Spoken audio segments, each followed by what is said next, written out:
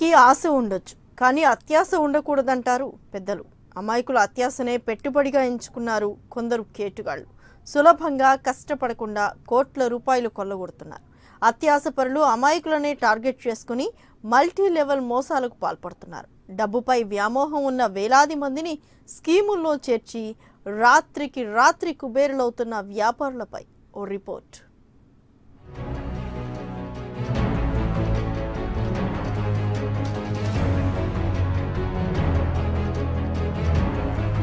Multi level market. ఇప్పుడు మార్కెట్లో ఇదే ట్రెండ్. కాస్త పెట్టుబడి పెట్టి మరో పది మందితో పెట్టించేలా చేస్తే చాలు. మీరు కోటీశ్వరులు అయిపోయినట్లే. ఇంకొంతమంది సభ్యులు పెరిగితే దర్జాగా జీవితాంతం కూర్చొని తినొచ్చు. ఇది నిజం. అచ్చం ఇలాగే చెప్పి కొందరు వ్యాపారులు కోట్లు కొల్లగొడుతున్నారు. ఇటీవల సైబరాబాద్ పోలీసులు మల్టీ లెవెల్ మార్కెటింగ్స్ పై చేసిన దాడుల్లో దిమ్మ తిరిగే ఆసక్తికరమైన నిజాలు వెలుగు చూశాయి.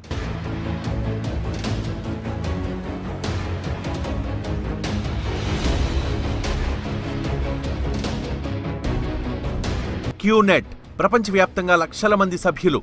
కోట్లలో టర్నోవర్. సంస్థ ఉత్పత్తులు అమ్మితే లక్షల్లో కమిషన్. సభ్యులు పెరిగితే ఫ్రీ క్యాష్. ఇలా జనాలను నమ్మించి మోసం చేసింది క్యూనెట్ సంస్థ. బాధితుల ఫిర్యాదుతో రంగంలోకి దిగిన పోలీసులు ఒకరు కాదు ఇద్దరు కాదు ఏకంగా యాభై ఆరు మందిని అరెస్టు చేశారు.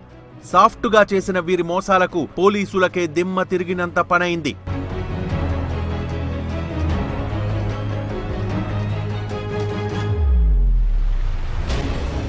గౌరవనీయమైన ఉపాధ్యాయ వృత్తికి లాంగ్ లీవ్ పెట్టిన మెతుకు రవీందర్ అనే వ్యక్తి సన్ పరివార్ గ్రూప్ పేరుతో డిపాజిట్లు సేకరించడానికి ఏజెంట్లను ఏర్పాటు చేసుకున్నాడు. ఒక్క ఏడాదిలోనే ప్రజల నుంచి ఏకంగా నూట యాభై కోట్ల రూపాయలు సేకరించాడు. చివరకు సైబరాబాద్ పోలీసులకు చిక్కి కటకటాల పాలయ్యాడు. అతడి నుంచి కేవలం పద్నాలుగు కోట్లను మాత్రమే పోలీసులు స్వాధీనం చేసుకున్నారు.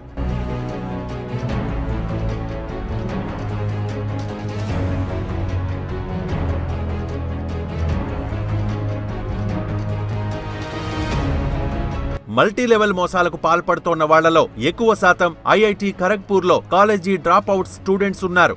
హెల్త్ ప్రొడక్ట్స్ మార్కెటింగ్ పేరుతో మల్టీ లెవెల్ మార్కెటింగ్ చేసిన ఫ్యూచర్ గ్రూప్ ఇరవై రాష్ట్రాల్లో అరవై లక్షల మంది నుంచి ఏకంగా మూడు వేల కోట్ల రూపాయలను సేకరించింది. ఇక మూడు రాష్ట్రాల్లో కలకలం రేపిన కేసు కరక్కాయపొడి వ్యాపారం.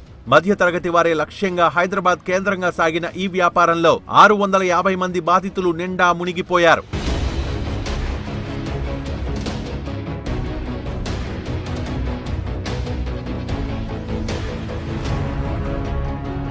ఇటీవల కాలంలో మల్టీలెవల్ మోసాలు విపరీతంగా పెరగడంతో పోలీసులు ఆ దిశగా చర్యలు చేపట్టారు. బాధితుల సంఖ్య వేలల్లో ఉండడం రికవరీలు తక్కువగా రావడంపై కూడా పోలీసులు దృష్టి పెట్టారు. సాఫ్ట్గా చేస్తోన్న ఈ వ్యాపారాలపై జనాలకు అవగాహన కల్పించేందుకు సైబరాబాద్ పోలీసులు జన చైతన్య కార్యక్రమాలకు సిద్ధమవుతున్నారు. చదువు రాని వారికన్నా చదువుకున్న వ్యక్తులే ఈ తరహా మల్టీలెవెల్ మార్కెటింగ్ మోసాల్లో చిక్కుతున్నారని పోలీసులు చెబుతున్నారు. Cyberabad police U W wing ఒక money circulation scheme multi level marketing company QNet పేరుతో నడుస్తున్న స్కీమ్ని ముఖ్యంగా మన ఐటీ కారిడార్లో సైబరాబాద్ ఏరియాలో ఎక్కువ జరుగుతుంది. ఆ ఒక్క కేసుని పరిష్కారం చేయడం జరిగింది. ముఖ్యంగా ఇది వేలాది కోటి రూపాయల స్కాము. ముఖ్యంగా మన హైదరాబాద్ కాకుండా చాలా దేశంలో చాలా చోట్ల ఈ స్కీమ్ నడుస్తుంది. సో ఇది ఒక మనీ సర్క్యులేషన్ స్కీము. దాదాపు వెయ్యి కోటి పైన ఉండొచ్చని చెప్పి మనము అంచనా చేయడం జరుగుతుంది.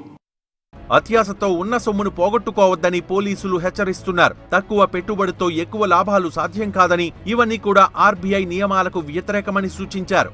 ప్రతి ఒక్కరూ ఇలాంటి మల్టీలెవెల్ మార్కెట్ వ్యవహారంపై పూర్తి అప్రమత్తతతో ఉండాలని పోలీసులకు ఫిర్యాదు చేయాలని సూచిస్తున్నారు.